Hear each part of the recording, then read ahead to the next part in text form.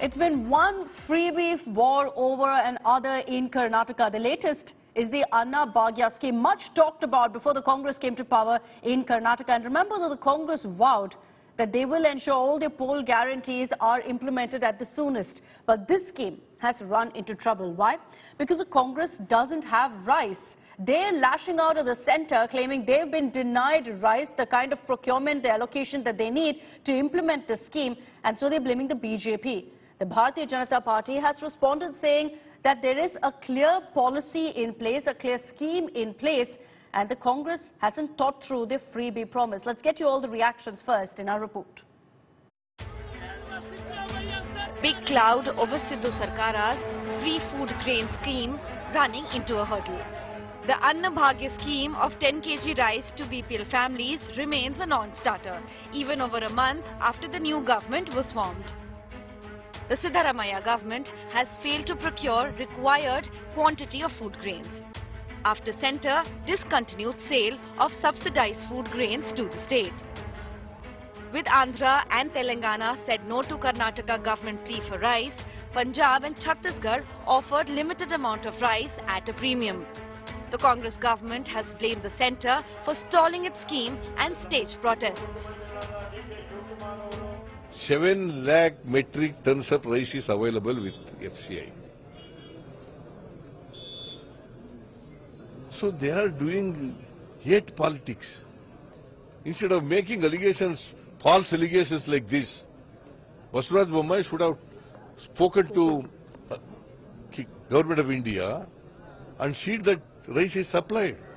One day earlier, they permit us to buy in a, we have an order to it.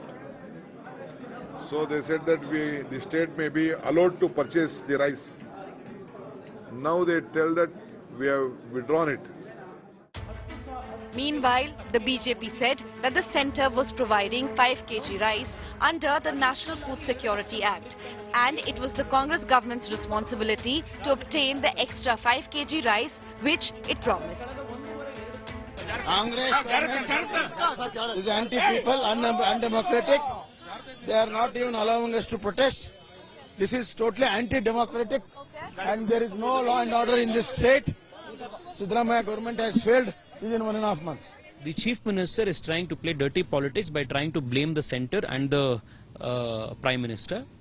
People of Karnataka, people of the country know that the prime minister under the Pradhan Mantri Garib Kalyan Anna Yojana has been giving free ration to 80 crore people in the country from the last three years. While all this is happening, the Congress, on the other hand, is protesting in Freedom Park, saying that the centre has deliberately stalled the sale of rice under OMSS scheme by FCI.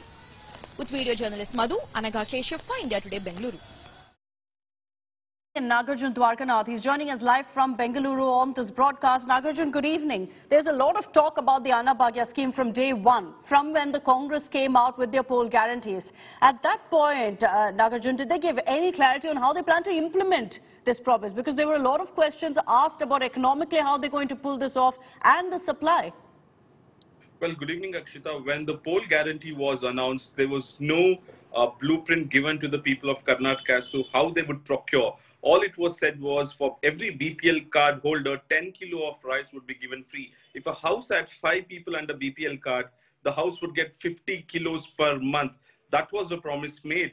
But what is the chief minister saying is that FCI earlier had promised that they can procure rice from FCI, but once Congress government came back to power and last week they have written to the state government saying that they can't give rice to Karnataka because of the delayed monsoons and they have to keep it for the uh, free market because if there's a scarcity of food grains, then the whole country would be uh, in a difficult spot and hence they've asked them to buy it from uh, different states and now Telangana has been approached, Chhattisgarh has been approached, Punjab government also. But because of the transportation charges uh, is going to be quite high, the economics will also be different behind the whole rice scheme. And hence, Congress is in a spot right now trying to blame the uh, union government while the union government is saying we are playing fair because of delayed monsoons. Nagarjun, just one quick question from you. They've approached states. Karnataka has reached out to several states. Have any of them agreed? Well, not yet. Uh, the discussions are Yeah. ongoing because negotiations going on on the price. Chhattisgarh and Punjab have agreed in principle is what we are told.